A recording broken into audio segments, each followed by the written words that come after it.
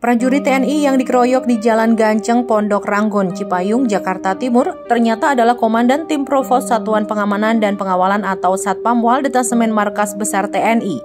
Demikian hal tersebut disampaikan oleh Kepala Pusat Penerangan TNI Laksamana Muda Julius Wijoyono. Julius mengatakan korban adalah Sersan Mayor SP.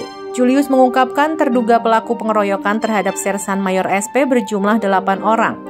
Namun Polres Jakarta Timur menyebut pelaku pengeroyokan ada empat orang. Menurut Julius, pengeroyokan terhadap Sersan Mayor SP itu terjadi di Jalan Ganceng, Pondok Ranggon, Cipayung pada Senin 9 Oktober sekitar pukul 20 waktu Indonesia Barat. Sementara itu, Kepala Satuan Reserse Kriminal Polres Jakarta Timur, Kompol Gunarto mengatakan, Pengeroyokan terjadi dipicu karena kendaraan korban dan pelaku tidak sengaja bersenggolan. Sersan Mayor SP yang mengendarai mobil itu awalnya mengerem mendadak karena ada kendaraan yang berhenti di depannya. Pada saat bersamaan, keempat pelaku pengeroyokan itu berboncengan sepeda motor melintas di belakangnya sehingga akhirnya menabrak mobil SP. Lantaran tidak terima, para pelaku menghampiri korban.